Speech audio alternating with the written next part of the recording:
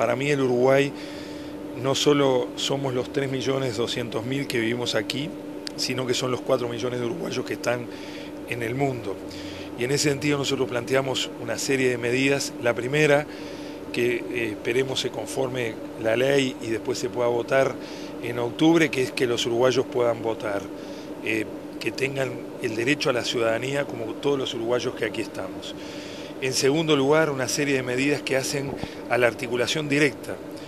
inversiones de los uruguayos que están por el mundo en el Uruguay con un respaldo desde la cuenta del Banco República que está generando permanentemente un incentivo a las inversiones, bueno, abrir una simetría entre lo que los uruguayos mandan desde el mundo para invertir en el país en una reciprocidad desde el Banco República. En segundo lugar, nos parece muy importante que los uruguayos puedan acceder, hoy que hay un sistema nacional de salud, a la salud también acá en Uruguay. Uno de los temas que siempre sabemos que preocupa a los uruguayos es su asistencia viviendo afuera y si vienen al Uruguay. Tercero, nos parece muy importante que se abra también a través de esta interrelación con el Banco República, la Agenda de Viviendas Nacional, una cuenta que permita incorporar a los uruguayos que están afuera en inversión en vivienda. En cuarto lugar, y por eso nos parece bien importante este acercamiento, la institucionalización de los consejos consultivos y el rol de los uruguayos en el propio comercio exterior. Nos parece que cada uruguayo, y así lo vimos en Canelones, es un La última encuesta de Factum que dice que el Frente Amplio ganaría sin problemas con un 45%, seguido del Partido Nacional con un 33% y un 8% del Colorado.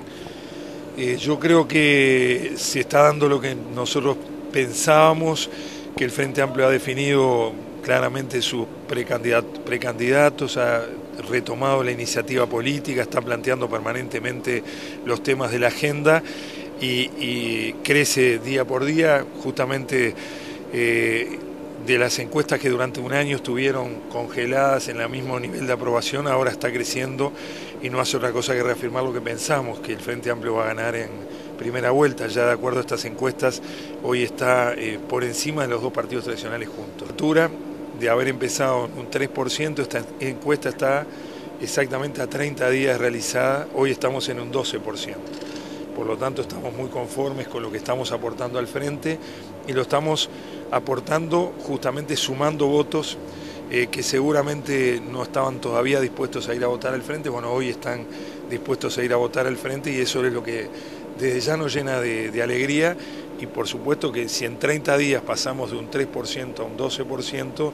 nos, nos hace ser esperanzados de cómo vamos a seguir.